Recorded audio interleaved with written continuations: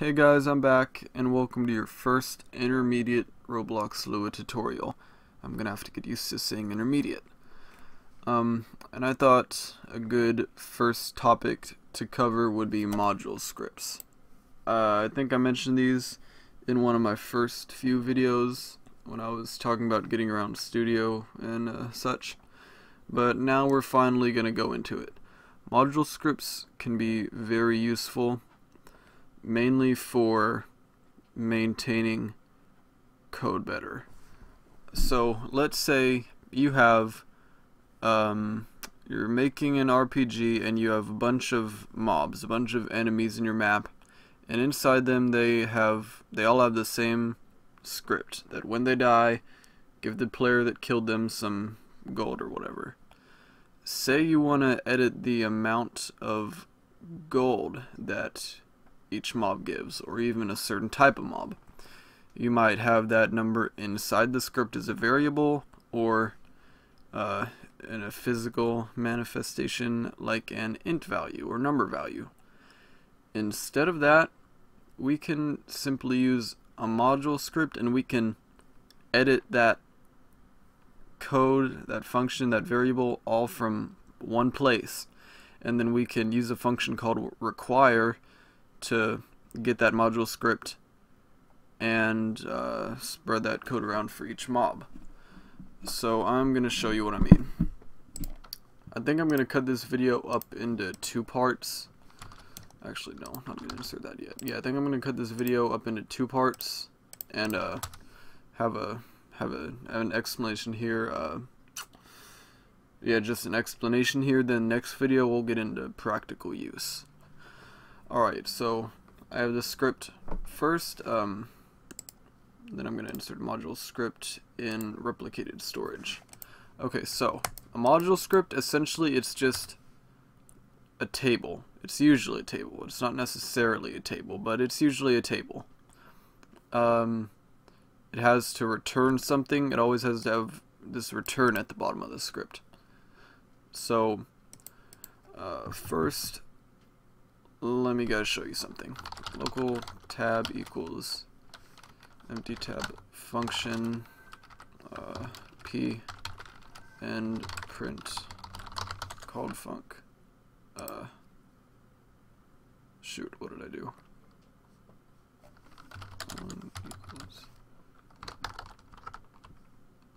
Okay, wait. I just derped up. Local function p print called func local tab equals p. Uh, so we have one member of our table tab and it is p, the function p. Um, tab dot p. Let's see what that outputs.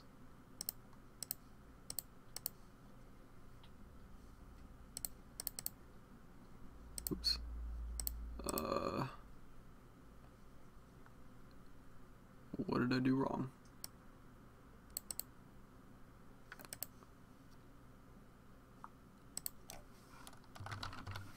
What did I do wrong? Okay.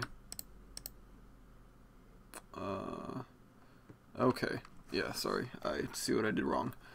Uh, that table is string keys, not number keys, regular number keys. So, okay, back to what I was saying. So you see how we have the first member of this table, it is a function, the function p. You can put functions in tables just like any other data type, a string, number, boolean. Uh, so we're accessing the first index of tab and we're calling it with the parentheses. Or we could just put the parentheses uh, no, we couldn't do that. Well, yeah, we could. We'd have to print tab 1. And we're going to return called func instead. There we go. So now the first index of tab is whatever the function p returns because we're calling it in the table here. It outputs the same thing called func. So, now you know you can add functions to tables. You can put functions in tables. Local tab equals an empty table tab dot uh, p equals function uh, message return no print message uh, tab dot p hello my friends and that outputs hello my friends so uh, that's another way you can add a function to a table um, this would be called a string key uh, do I really want to explain string keys right now in dictionaries? No. I'm going to get into string keys and dictionaries in a different video. But this is one way we can add a function to a table, much like how we're going to add it to our module later. Or we can do function tab colon p and sorry and have our uh, parameters here and we can call it with a colon instead of a dot. It does the same thing. Personally, in most cases, I like the colon better because it looks cooler, I guess. Okay, that was stupid. Okay, so, uh, so now we're going to go back to a module script. Local module equals empty table module dot p equals function message uh, print message okay. So local module uh, local mod equals require. Oh god kitty get down. No kitty has claws. Sorry guys. Uh, require game dot replicated storage dot module script.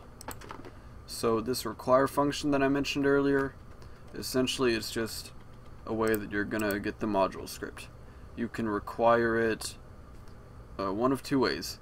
In-game with uh, hierarchy like we're doing here, or you can require it by asset ID, which is when you upload a module to a Roblox model and you name the module script main module like this. Uh, but right now I'm not going to go into reasons to do that. For now, we're just to assume the module's in our game. So mod dot p, we're to call that function with hi hi hi. Hi hi hi. So essentially, this is working just like I showed you guys with the table because we're returning the table module and it has a member of it P. Let's for IV in pairs mod do print IV. And it outputs P and it's you know what P is, a function with an ID because blah blah blah whatever, it's a function. Um, Okay. So that's uh, basically the useful. It's not the usefulness of modules. I haven't showed you the usefulness yet. Uh, what else did I want to go over? Modules don't just have to have functions. Uh, they can also have just regular variables as proper properties. No, that doesn't make sense. Let me show you what I mean. Module.var equals true and now it's going to output var true because var is the name of the index and true is its value.